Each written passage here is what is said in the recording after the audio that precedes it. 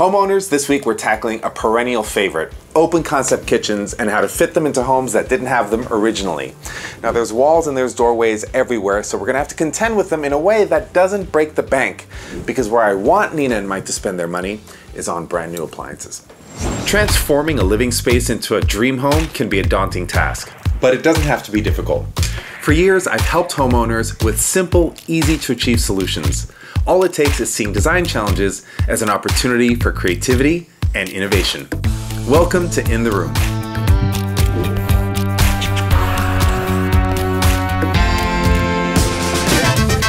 Today we're designing for Nina and Mike. Now they've asked for an open concept kitchen, but they also have one additional problem. The living spaces around the kitchen aren't fully integrated into the circulation of the home. So they want things to work a little bit better and for those living spaces to be better integrated into the heart of the home. So let's see what we're working with. Hi, my name's Mike. My name's Nina. We both manage engineering teams at the Boeing Company. We live in Charleston, South Carolina. And what we're looking to do with our space is really create an open concept for our kitchen and better integrate our living area, make it more user friendly for me because I love to cook, and then make it a gathering space for our guests so we can entertain, we can hang out in here, and really create a use for the space that is just kind of hanging out with random furniture in it right now.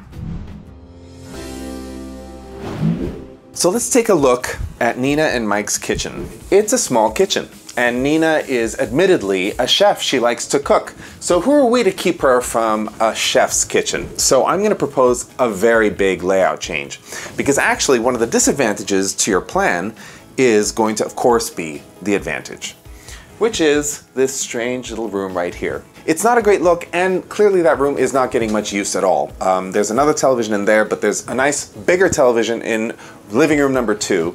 Um, so what to do with that space? Well, clearly the kitchen wants to eat into that space. I think that the best way of saving money on a project like this is to be very surgical with how much of the ceiling you expose and how much of the floor you expose. That, and when I say expose, I mean where the walls connect to the ceiling and the floor. Once we remove them, what's exposed has to be fixed. And if we can minimize that, then we save money and we can pour all of that saved money, every last cent, into brand new appliances. Here's my mindset when I'm looking at a plan like this. This kitchen can open up in so many different ways. These are the walls that we're gonna remove. So that means that's where I want to position my cabinets as much as possible. And because I like the idea of having a quick entrance from the main entrance of the house and from the garage, this hallway is important to me.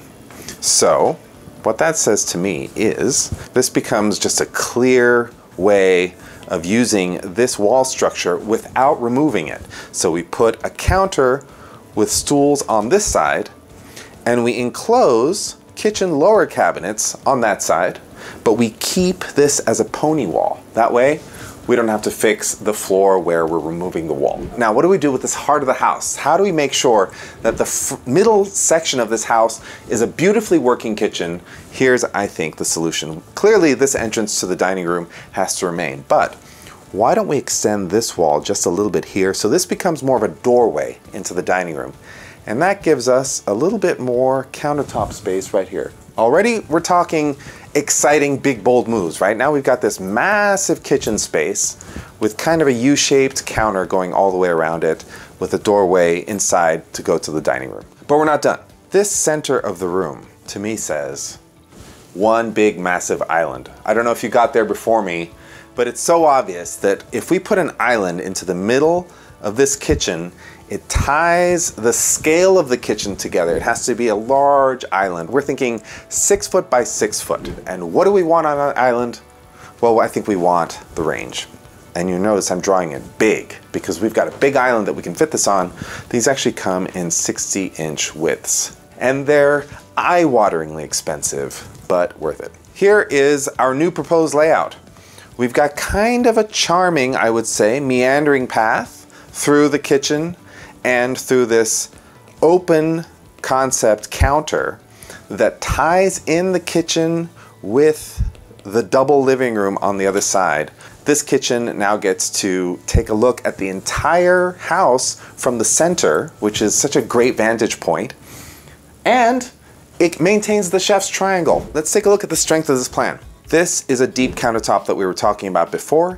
It keeps a pony wall underneath, under inside of which we will put new kitchen cabinets, so tons of storage here, and one big, beautiful countertop. I think this is going to be one project where we try to focus on the countertop material more than any other. We're not going to spend money on the cabinets here because we're going to maintain as much as we can of your existing cabinets, upgrade some of the cabinet doors on the lowers, and then build in new cabinets underneath the island and inside that little alcove space right here. We've extended this little bit of countertop this way. Next, the kitchen continues and leads right into the mudroom. I think this mudroom is eventually going to be a perfect pantry for you. You've already got a bench right here. That bench can probably be turned into a floor to ceiling shelving unit because it's already a laundry space you're going to want a lot of access to the mudroom. I don't want to block it off by creating a tighter doorway just because it's a mudroom. I think by changing the aesthetic of the mudroom to work more with the kitchen, it's going to feel very welcome in this big open floor plan that we're proposing. I'm a big fan of larger sinks and I've replaced her sink here with a much larger farmhouse style sink that really maximizes the bowl depth, width, and height. You're going to want this because with a 60 inch range, you're going to want to buy larger cooking implements and they're going to need a bigger sink to fit into. So the sink is an upgrade, the dishwasher and the fridge you can keep, and the range is an investment. But let's see what this uh, floor plan is going to look like from inside the house. Take a look at the ceiling. So the ceiling has coffers, and these coffers are basically tracing where the walls and doorways used to exist in the plan before we opened it up. What this does for us, obviously, is it saves a little bit of money because we no longer have to skim the ceiling over and try to make it match, which is a hassle and you have to pay for it. And it gives us an opportunity to put some additional crown molding. And you're going to need a little bit of soffit space if you're going to do what I've proposed, which is to put an island hood over the range. If you want it to work really well, you're going to want to duct it out and this little trace of the wall that used to be there would be a great location to attach the duct and vent it out of the house. Fixing the floor is going to require some artistry. Uh, it's going to require a little bit of money, but because we've minimized how much of the floor you have to fix, this is going to save you money. This is an axonometric view from overhead, and you'll notice I'm actually keeping a lot of the kitchen cabinets. All of the uppers as they wrap the corner can be kept, and then this finishing one can be built very easily to look like the rest of the uppers because it's quite a simple construction and you get to hide all the top details with crown. The lower cabinets, I want to add a level of detail along the, the fronts. I think having a little detail along the bottom is going to give a nod to that transitional styling that you have in the rest of the house. Also, I'm thinking some nice expensive quartzite or quartz or some natural stone for your countertops that you're gonna have to invest in. This is a worthwhile investment, but you don't have to go whole hog all the way luxe. Gray Fusion quartzite. It's pricey, but uh, it's worth it. It's very durable. It doesn't take on stains at all and it comes in incredible personalities. Um, you're gonna need quite a lot of square footage of this, so put aside a chunk of your budget for the stone. So that's one investment.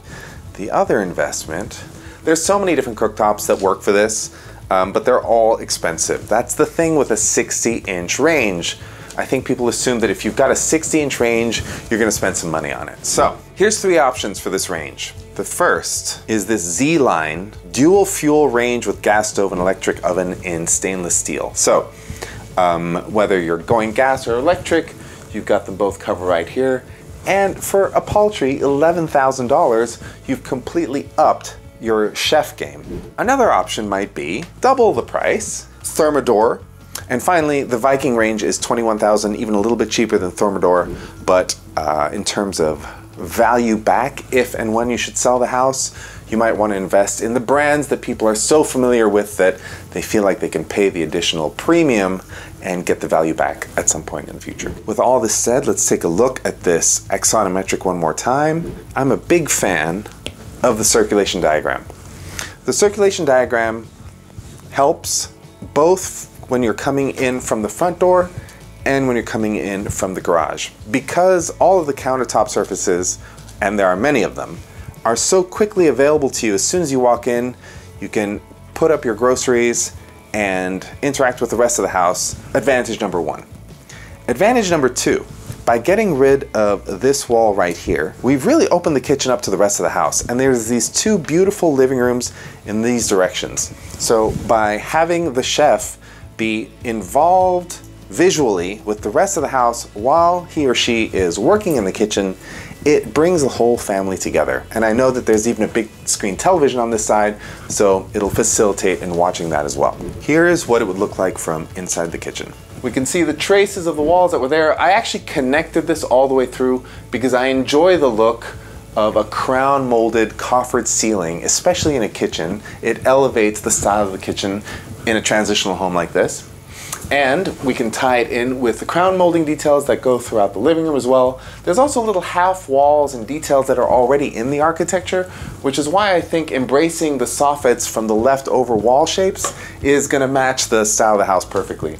Remember, this kitchen's double duty is to tie in all the styles of the house and make them all feel at home. Even as they change style from year to year, season to season, this kind of kitchen just allows all of it to sit comfortably around it.